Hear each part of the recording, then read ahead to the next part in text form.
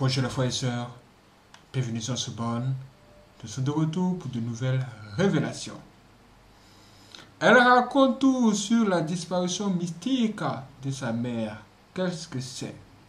C'est l'histoire d'une jeune femme qui a décidé de tout nous dire sur comment sa mère est partie. C'est une histoire de sorcellerie. Mes frères et sœurs, si vous n'êtes pas abonné, abonnez-vous, activez la cloche, laissez tous des j'aime pour permettre à cette vidéo de passer partout. Ça aide beaucoup. Et surtout, soyez très attentifs à ce qu'elle va dire. Parce que ce qui règne ce monde, ce sont des choses mystiques. Et vous êtes obligés de savoir ces choses. C'est pourquoi nous sommes ici sur ce monde.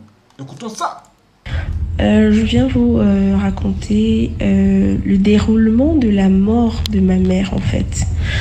Tout commence en novembre 2018 euh, où je m'apprête à sortir en fait. Pardon. Parce que j'étais à l'université, j'étais en deuxième année et vous connaissez les jeunes filles, c'est tout feu, tout flamme avec les sorties et là, euh, je prends ma paire de, baskets que je me mets à nettoyer. Genre, euh, je ne la touchais pas, elle était posée, j'essayais juste de passer le chiffon. Et je suis allée me laver. Quand je reviens, quand je veux porter la chaussure, ma mère demande d'attendre parce qu'elle a vu des trucs en train de marcher à l'intérieur. Elle me dit d'abord de renverser la chaussure. Je lui dis que ouais, maman, si c'est le modèle pour que je ne sorte pas, mieux tu me dis, je m'assois et je ne sors pas. Elle me dit non, je suis sérieuse, j'ai vu des trucs à l'intérieur. Après, elle prend la chaussure, elle prend les deux pieds de chaussure, elle lance sur la cour. Et des chaussures sont sorties de chaque pied, des scorpions noirs, parce qu'à la base, c'était de faire une pierre de coups de tuer ma mère et de me tuer en fait. Parce qu'à la base, je suis son seul enfant et je suis l'enfant du lycée. Elle ne s'est pas mariée, nous sommes juste restés deux. Néanmoins, la maison était saturée. Vous connaissez la, la famille africaine, il y avait des cousins et une de mes tantes. Donc c'est comme ça qu'elle alerte les autres membres de la réunion et tout le monde se pose la question que mais où est-ce que les scorpions sortent là maintenant? Elle m'a dit ça, c'est un mauvais présage et je préfère que tu ne sortes plus. Chose que j'ai faite, je suis pas sortie. On a découpé les scorpions, on a brûlé. Le lendemain, euh, c'était aux environs de 22 heures. Tout le monde est allé se coucher. On a fini de faire la prière. Tout le monde est allé se coucher aux environs de 2 heures. Euh, je suis en train d'aller faire pipi. je suis en train d'aller faire pipi et là, euh, comme je n'avais pas allumé au couloir, mais ma chambre était allumée, je me dirige dans le toilette pieds nus. Et là, je sens des trucs qui sont en train de me piquer. Quand j'allume dans le couloir, je vois des fourmis maniant. À la base, ce ne sont pas des fourmis qui sont en ville. En fait, c'est, ce, sont, ce sont des fourmis maniant, sauf que celles-là sont noires. Et elles se retrouvent plus sur les arbres et dans la forêt. En ville, c'est rare de les voir. Et ces fourmis quittaient de la porte centrale et se dirigeaient directement dans la chambre de ma mère. C'est comme ça que je réveille dans ma mère. Je lui dis que maman, tiens, viens regarder ce qui se passe. Je ne comprends pas d'où les fourmis s'y sortent. Étant quelqu'un qui a grandi au village, bon, elle a plus vécu toutes les vacances, elle faisait l'effort d'aller au village. Et c'est là où elle demande qu'on fasse bouillir de l'eau et qu'on verse sur les, les fourmis elle s'est mise à parler que ce que vous me voulez, ce que vous me cherchez, vraiment, vous n'allez pas m'avoir. Ça a commencé avec mon enfant. Maintenant, ce sont les fourmis que vous m'envoyez. Et les fourmis partaient directement dans sa chambre. Et pour euh, préciser, sa chambre était la chambre, euh, la dernière chambre. Donc sa chambre était au fond et la chambre de nous, les enfants, était plus haut. On était dans un, appartement de trois chambres. Donc il y avait la chambre des filles et la chambre des garçons. C'est comme ça qu'on a encore recommencé à prier, à prier et prier. Et deux jours plus tard, on se sépare le matin, chacun va à ses occupations. Et moi, je vais en cours. J'arrive en cours et tout vers 11 heures. Le téléphone est sous silencieux. Bon, vous connaissez le privé parce que j'étais au privé. Tu ne peux pas décrocher. Et c'est à la pause à 13 heures que je constate qu'elle a essayé de m'appeler sept fois. Quand je veux euh, relancer l'appel pour l'appeler, euh, je vois un numéro inconnu qui m'appelle. Ce sont ses collègues.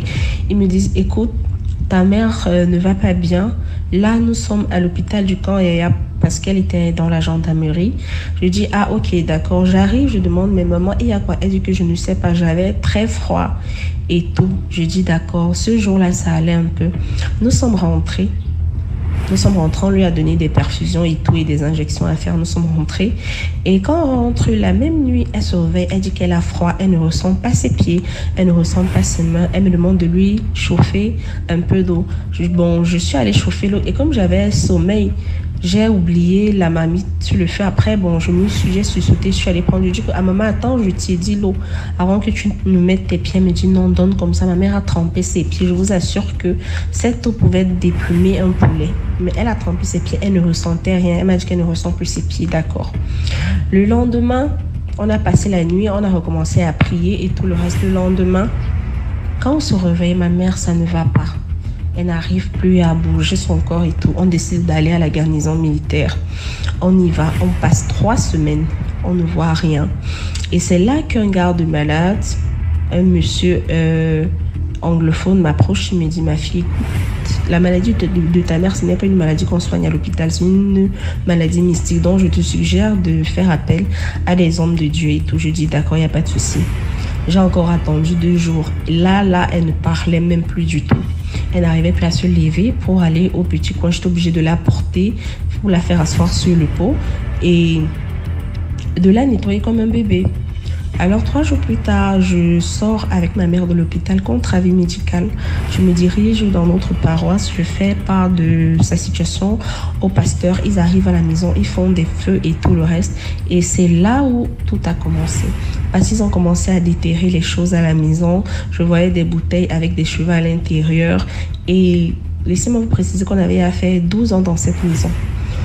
Et étant donné qu'elle était dans la mer, elle était au gradé, donc toutes les cérémonies de, de, de galop, de port de galon, autant pour moi, qu'elle que elle avait, on organisait ça à la maison. Donc il y avait toujours affluence, il y avait des tantes qui sortaient du village, qui venaient dormir et tout.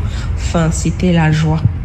On ne savait pas. C'est là qu'ils disent qu'en fait, cette maison était déjà euh, un atterrissage et c'est vrai, on ne savait pas. Parfois, on entendait le sable qui se verse à une certaine heure et un grand vent, comme a un truc qui est en train d'atterrir, mais on ne prêtait pas attention. Et ma mère était toujours en train de prier. Genre, chaque fois que ça arrivait, elle prie, elle prie, elle dit que venez, on prie. Non, on ne comprenait. On dit que ouais, maman, nous, on a sommeil, mais on était toujours en train de prier. On n'avait pas le choix. Et c'est là où il commence à déterrer les trucs. Il commence à déterrer. Après, la partie qui m'a tué, c'est qu'on était dans les carreaux, dans un appartement carrelé. C'est là où ils ont, au centre du lit de ma mère, ils ont cassé. Je vous dis, j'ai vu ça de mes propres yeux. Cassé les carreaux, cassé le ciment et sortait sortir une calebasse dans laquelle il y avait un liquide noirâtre avec des cheveux à l'intérieur et une petite bouteille qu'ils ont cassée et ils ont ouvert, ils ont trouvé le nom de ma mère écrit avec le bic rouge. Ils ont mis décembre donc, ils n'avaient pas précisé. Ils ont juste mis décembre. Et effectivement, ma mère était décédée en décembre. C'est donc comme ça que on a commencé à prier et tout. Et parmi les deux pasteurs, il y avait un qui était vraiment exorciste. C'est là où il me demande que est-ce que vous avez euh, vu un signe précurseur et tout. Je dis non, on n'a rien vu. Il me dit qu'il n'y a pas eu un incident que vous n'avez jamais. Je dis non. Après, il dit que tu es sûr. Je dis bon, sauf qu'il y avait des fourmis qui sont arrivées euh, tel, tel jour. Là, on était déjà en décembre. On était le 9 décembre quand il me parlait de ça. Il me dit oh là là, il fallait venir me dire ça bien avant. Je dis mais parce que moi, je ne savais pas. Il me dit que quand on vend quelqu'un aux femmes là ou bien dans une loge, ce sont ces fourmis-là qui viennent prendre son âme, son esprit, si je peux dire ça comme ça. Et dès qu'ils repartent, ils repartent, ils arrivent comme s'il fallait même prendre deux ou trois et garder. Et c'est avec ça qu'on devait travailler. Mais là, on n'a plus rien. Ça veut dire qu'il n'y a plus rien à faire. Il faut juste attendre. Néanmoins, quand tu as une situation, il y a toujours ceux qui connaissent. Et parmi, il y a... Euh, parce qu'à la base, je suis... Euh, Bon, c'est trop de détails, mais il fallait qu'on aille faire une tradition dans, après mon village, qu'on appelle les Bokas. Il fallait qu'on aille faire ça. Et c'est comme ça que je décide de prendre la route avec ma mère. Et je vous jure que j'ai vécu la sorcellerie. J'ai loué une voiture. J'ai loué une voiture en coup de route.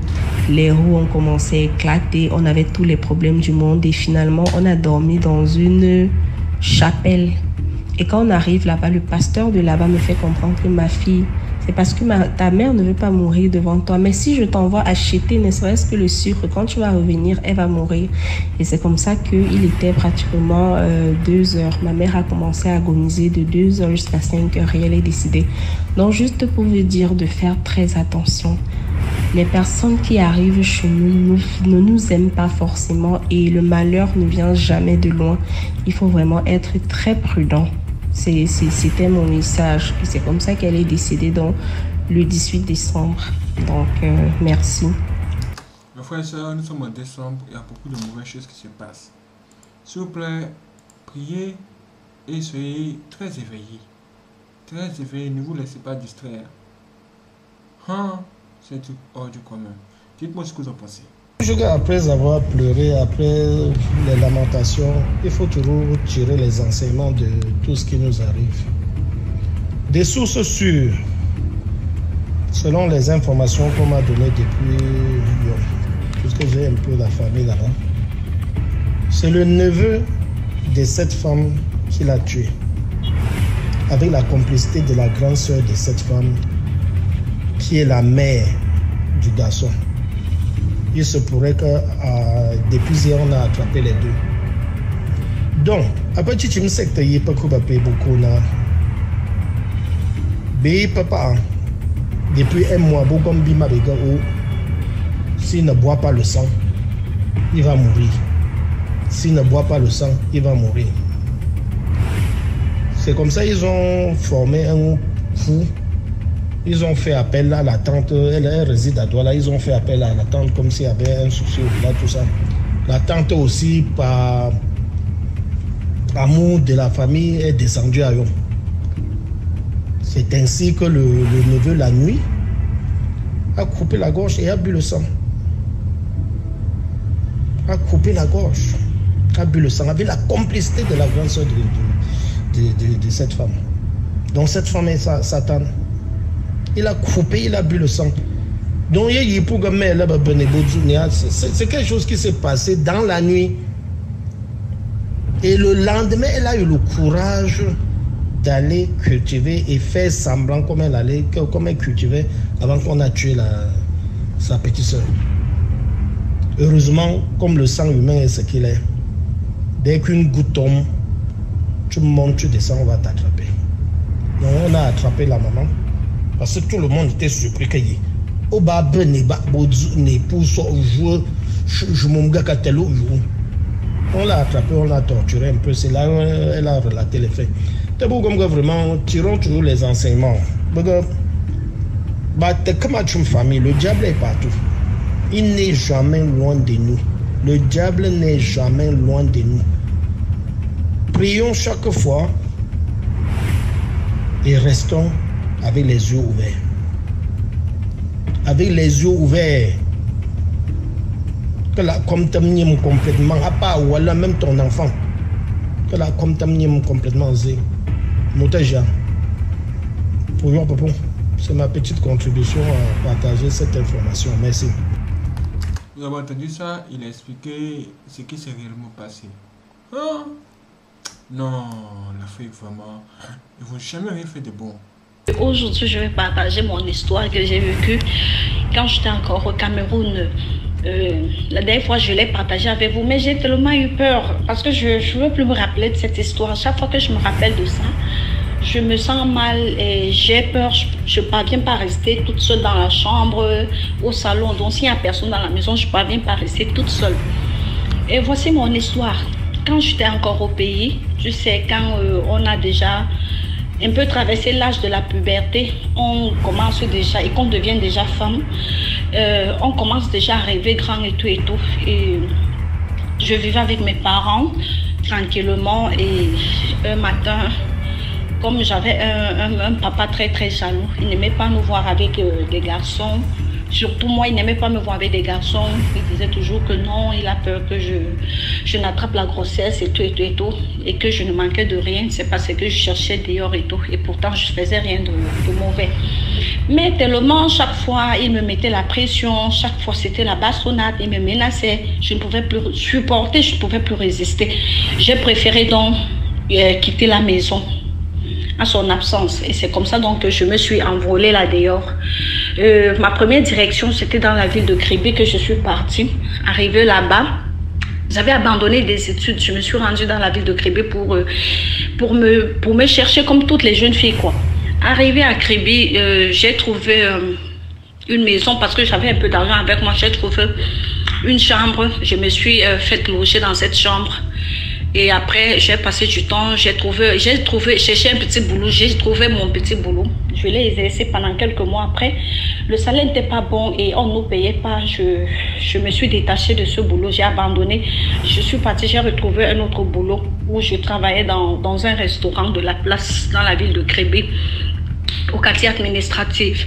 Et une fois là-bas, j'ai fait connaissance euh, d'un grand monsieur. Il était bourrement riche, bourrement riche. Chaque fois que le monsieur venait déjeuner au restaurant, il, euh, après son déjeuner, si peut-être le plat coûtait euh, 1000 francs, 1500, 2000, il me laissait, euh, en plus de ça, les 3500 dollars, il donnait 5000, le reste c'était pour moi.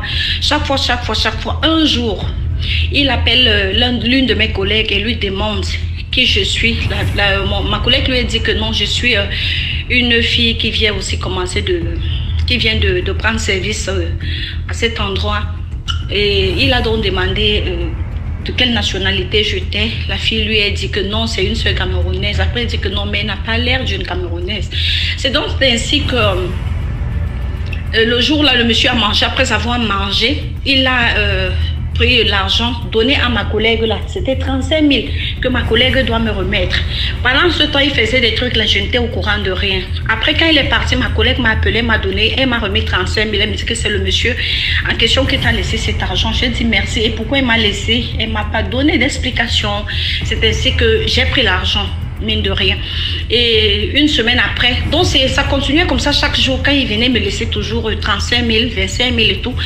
Et après, euh, deux semaines plus tard, le week-end qui suivait, il m'a invité quelque part au niveau de ce carrefour King. Il y a, euh, une, il y a une boulangerie là-bas. Et à la boulangerie, il y a un grand snack à côté. On vend juste des liqueurs là-bas. Nous sommes entrés, c'est très luxueux et c'est un endroit où tout est un peu cher. Nous sommes entrés là-bas. euh, on s'est servi, on a pris un pot avec ses amis et tout et tout. Ils causaient. Moi, j'étais là, j'étais très silencieuse parce que je ne savais pas quoi dire. Et j'avais, au fond de moi, j'avais un peu peur. C'est ainsi qu'on a fini de boire. Et après, il était peut-être 22 heures, il m'a demandé de, qu'il m'accompagne à la maison. Je lui ai dit, il n'y a pas de souci. Il est parti me déposer à la maison. Il m'a demandé de lui montrer où je vivais. Je lui ai montré le chez moi. Quand il est arrivé chez moi, j'ai ouvert la porte, il est entré. Il m'a dit que non, mais il me faut euh, un endroit plus approprié que, euh, ce- cette chambre. Donc, il faut que je prenne quelque chose de bien de bien. Le genre qu'il peut également venir avec l'un de ses amis là-bas quand peut-être il a besoin de venir me rendre visite. C'est ainsi que j'ai dit, ok, il n'y a pas de souci, mais j'aime pas d'argent. Il a enlevé une enveloppe. Il y avait combien dedans 800 000. Il m'a remis, il m'a demandé que dès demain, je dois chercher euh, la maison, euh, un appartement, chambre, salon, cuisine. Je dois équiper la maison et mes trucs que j'avais de l'autre côté, comme ce n'était pas très bien, que je dois partager. C'est ainsi que j'ai dit, ok, il n'y a pas de souci. Euh, je suis partie, j'ai passé, euh, j'ai contacté des gars qui m'ont trouvé un appartement dans un autre quartier, vers euh, le quartier Ngouye. Je suis partie là-bas, j'ai pris l'appartement et je vivais là-bas tranquillement. Et le monsieur, quelque temps après, m'a offert une voiture. Et comme je ne connaissais pas conduire et je n'avais pas de permis, il m'a trouvé un chauffeur. Le chauffeur, c'est lui qui s'occupait de moi. C'est donc là qu'il m'a proposé de laisser le travail que je fais et que je dois lui dire ce que je veux faire. Je lui ai dit ce que je voulais faire. Il m'a payé la formation de ça. Et ma formation, je l'ai faite pendant trois ans, euh, six mois. J'ai obtenu mon diplôme et après cela, on vivait ensemble. Un soir, un jour, peut-être un an ou deux ans après, on était ensemble toujours. J'ai perdu mon oncle On m'a appelé, il était gravement malade depuis très longtemps, même avant que je ne fasse connaissance de ce monsieur. On, on m'a appelé, maman m'a appelé que mon oncle est décédé. C'est ainsi que quand le programme était sorti, le corps a fait presque un mois à la morgue. Et j'ai appelé maman, elle m'a envoyé le programme. Je suis partie euh, trouver le monsieur dans son bureau. Je lui ai parlé du programme et tout et tout. Et quand je parlais, je partais, il m'a remis million de francs dans une enveloppe. Et ses collègues aussi, qui sont ses amis, ont cotisé. Ils m'ont remis cet argent. J'ai pris l'argent, c'était un million 800 000. Je suis rentrée à la maison, m'a prêté pour... Euh, euh, pour aller au deuil. Et arrivé maintenant, à l'entrée de, chez moi, il y avait un restaurant. Je me suis arrêtée là pour manger. J'ai mangé un bon plat de bongo, du rat avec du macabo. J'ai bu de castel. Et quand j'ai fini de boire, je suis descendue à la maison maintenant pour euh, porter ma valise parce que je l'avais déjà préparée depuis la veille. Je suis partie porter ma valise et m'habiller et partir parce que j'avais pris mon bain le matin avant d'aller le retrouver au bureau. C'est ainsi que quand j'arrive, j'ouvre ma porte, tout était bloqué. Je ne sais pas, je pousse la porte, tout est bloqué. Je pousse, tout est bloqué. J'appelle, euh, comme on habitait dans une cité, il y avait des, hommes en aussi parmi nous. C'est comme ça que je commence à crier. Du coup, ma bailleresse est sortie. Elle demande qu'est-ce qui ne va pas ma fille. Je lui dis non, je pousse ma porte. J'ouvre ma porte, je pousse la porte, ça ne s'ouvre pas, c'est bloqué. Je ne sais pas ce qui ne va pas. C'est ainsi qu'elle est venue aussi. Elle m'a aidé. On a poussé, poussé. C'était toujours bloqué. Et les gars sont venus. Quand les gars sont venus, on a poussé la porte. La porte s'est finalement ouverte. Qu'est-ce qu'on a trouvé? Une sirène qui était couchée dans mon lit et mon pull, dont les vêtements que j'avais déjà prêtés euh, dans, le matin pour, voyager. Il avait pris l'un de mes pulls parce que c'était en saison, euh, il faisait un peu froid. En saison pluvieuse, il a pris mon pull, il a enroulé ça sur son cou. C'est ainsi que je suis restée comme ça. Je lui ai observé, il m'observait. Il était mignon, je vous assure, je n'avais jamais vu une sirène. Il était mignon, noir, black, avec de longs cheveux, on a arrêté un pompon. Il était très beau, franchement. C'est ainsi que je lui, je, lui ai seulement dit, s'il te plaît, je sais que c'est ta maison, mais je ne sais pas ce qui m'avait poussé à dire ce mot. Je sais que c'est ta maison, mais s'il te plaît, je ne suis pas venue te faire du mal. Je vais juste prendre ma, ma valise et ce que j'en ai besoin, je, je te laisse avec la maison. Et c'est ce que j'ai fait. Tout le monde, tout le monde était en train de m'arrêter. Ne fais pas ça, n'entre pas là-bas, ça va te faire du mal. Je dis jamais. Je vais entrer. Et arrivé là-bas, il y a euh, un papa du quartier qui m'a appelé. J'ai récupéré mes choses. Un papa du quartier m'a appelé. Après avoir pris mes choses, j'ai refermé la porte. Il me dit ne voyage pas. Si tu voyages quelque chose au mauvais va t'arriver. Appelle ta famille, tu les parles de ce que tu viens de vivre. C'est ainsi que j'ai fait cela. Maman m'a demandé de ne pas voyager et c'est comme ça que je suis restée. Je suis passée rester chez une amie. J'ai passé du temps là-bas trois jours avec elle. Quand je suis revenue pour euh, euh, le troisième jour, j'ai toujours trouvé le même esprit là. Là, la porte n'était plus bloquée. Je l'ai trouvé toujours le même endroit où il était. Alors, j'ai encore refermé la porte. C'est drôle là que je suis partie faire appel au pasteur. Il y avait une église de réveil à côté. Je suis partie faire appel au pasteur. Les pasteurs sont venus. Et heureusement, il y avait une croisade le jour là. Il y avait beaucoup de pasteurs qui sont venus. Ils m'ont compris, sont venus. On a fait des prières. On a commencé des prières de 7 heures. L'esprit là a quitté ma chambre, euh, ma chambre, bref, ma maison à, à 16 heures. Et pendant même que d'autres pasteurs venaient pour, euh, pour faire la prière là-bas à la maison, il y a des pasteurs qui ont fait de l'accident. L'autre a coupé l'orteil, l'autre, les genoux, il s'est blessé. Il y avait au moins ceux deux qui sont allés à l'hôpital. Et les autres sont sortis sauf ça. Ils ont fait la prière de 7 heures jusqu'à jusqu'à 14 heures. Jusqu'à 14 heures, oui. Euh, que l'Esprit nous a libérés. Et quand il est parti, je suis partie, j'ai réchangé mes draps, j'ai balayé la maison, j'ai lavé, parfumé tout et tout. Les gens m'ont conseillé de ne pas dormir là-bas, ils disaient qu'ils veulent dormir. J'ai fait ma prière parce que je suis chrétienne. Je suis chrétienne.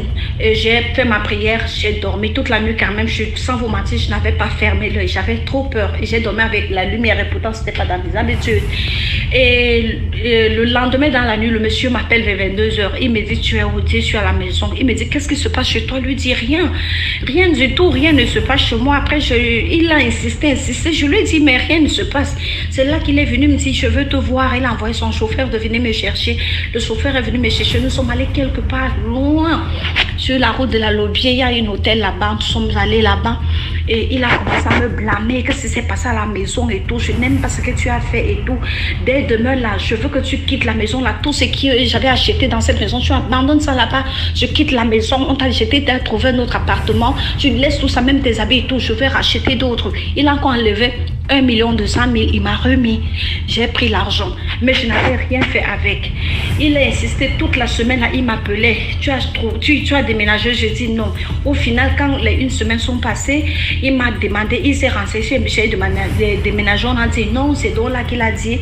Euh, il m'a appelé, il m'a dit de ne plus jamais l'appeler. J'ai dit, il n'y a pas de sourcil. Je vous assure que le malheur est resté me poursuivre derrière le malheur.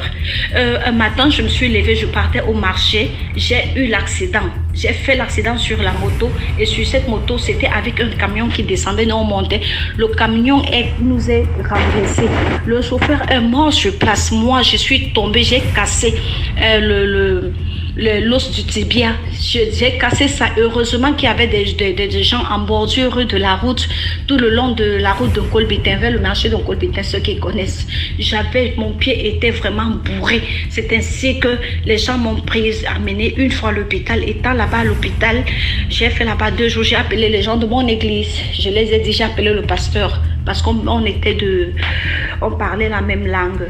Euh, c'est ainsi que j'ai fait appel au pasteur. Les pasteurs ils sont venus des soeurs, on a prié pour moi et après avoir prié pour moi, maman m'a demandé comment m'amener à Yaoundé. Je suis partie à Yaoundé pour me suivre le traitement. Quelques temps après, on m'appelle pour me dire que euh, on a cassé euh, ma maison, on a ramassé tout des trucs et on a cassé ça, c'était en plein 10 heures du matin.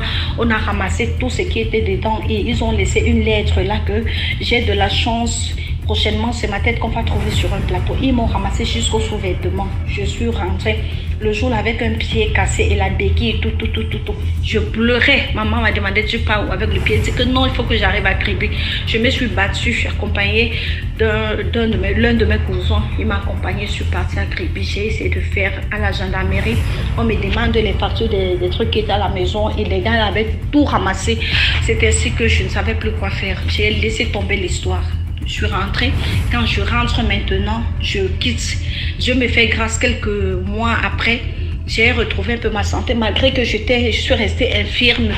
Mais je suivais quand même aussi le traitement. Je suis partie à Douala. Je, je me suis reconstruit là-bas et je m'ai fait grâce et ouvert, euh, il m'a ouvert des portes. Parce que je ne vous mens pas, après avoir vécu ce coup, je suis retournée à zéro. Je ne parvenais plus à manger. Je passais des semaines et des semaines sans manger. Je n'avais plus de vêtements. Je suis devenue comme un enfant. Donc j'étais obligée de rentrer chez mes parents. Donc voilà un peu, c'est pour dire aux filles que franchement, nous, euh, nous voulons vraiment... Euh, nous voulons vraiment être des grandes personnalités, mais parfois, prenons vraiment, faisons attention avec des qui nous sortons parce que des hommes qui nous offrent beaucoup de cadeaux, puisque moi, il est le, le tout premier homme qui m'a fait découvrir même le, à partir de 500 000, le tout premier, et m'offrir une voiture puisque je roulais dans les voitures. Donc, euh, c'est pour dire aux filles de faire attention, le dehors est pourri. Les hommes que nous voyons riches et tout, ne les envions pas parce que les gens là nous pourrissent la vie. Aujourd'hui, je m'ai fait grâce, j'ai donné ma vie au Seigneur, je me suis repentie et cette histoire reste toujours gravée dans ma mémoire et je l'ai toujours racontée partout autour de moi et je n'ai jamais caché ça à personne, ma famille au courant de ça.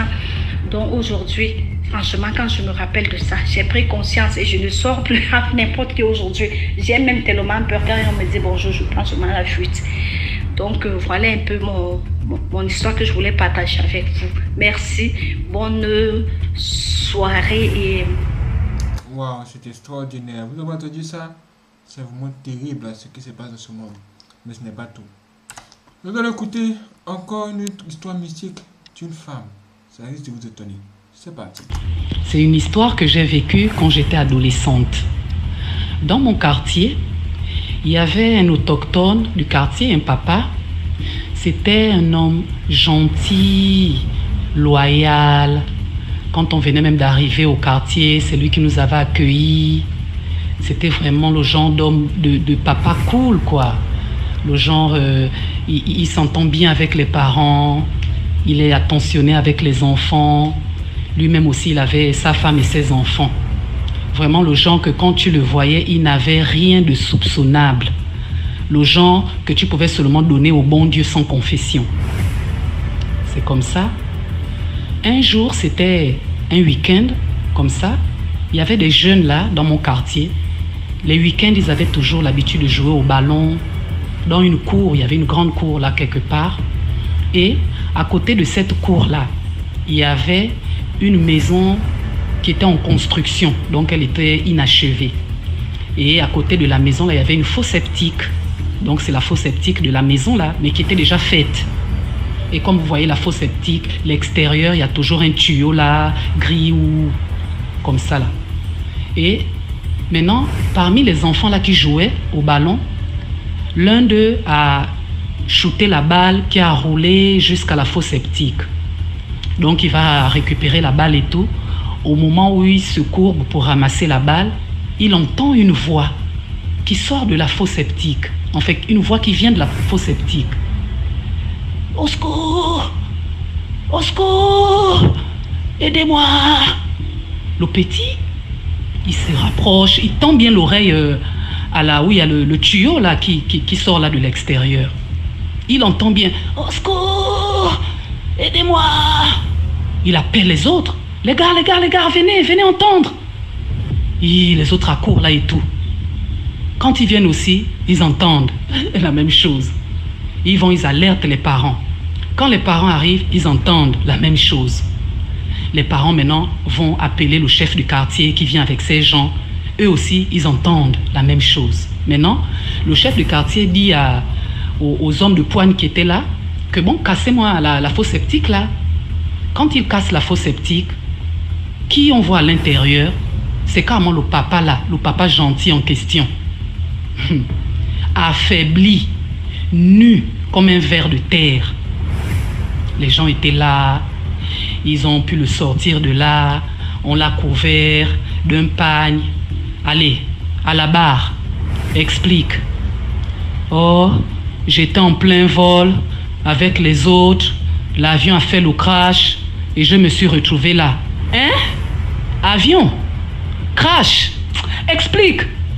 En fait, on a l'habitude souvent de voyager la nuit. Voyager? Pour aller où? Et faire quoi? En fait, les nuits, quand on se retrouve, on se transforme, chacun prend son apparence. Après, on s'envole pour aller dans des réunions où on décide de manger tel, de boire le sang de tel, de coucher avec tel, d'appauvrir tel. Et papa, l'élément a tout vomi dans la pression. Jusqu'à il a fui le quartier, je te dis. Jusqu'à il est devenu tristement célèbre. Il est sorti euh, dans un journal de la presse, dans une rubrique de quelqu'un qui fait des caricatures humoristiques. en mode, euh, les fans sont là, ils attendent la star sur scène, qui n'apparaît pas, puisque l'élément avait fui le quartier. On te dit qu'il a tout quitté, DMG. Femmes, enfants, parents, travail, demeure. Il a tout abandonné, porté disparu jusqu'à aujourd'hui. Jusqu'à la femme avait maintenant fini par rentrer chez elle, au village. Ils, comme ils avaient deux filles, les deux aussi étaient partis chacune dans son foyer respectif. C'était comme ça là que l'histoire là s'est passée. Hum. Maintenant, la moralité de ça, c'est quoi? C'est de vous dire, fuyez la sorcellerie. Fuyez la sorcellerie. Hein? Je pense que son message est clair. Nous allons passer à la partie 2 de notre vidéo. Abonnez-vous, activez la cloche, soyez prêts.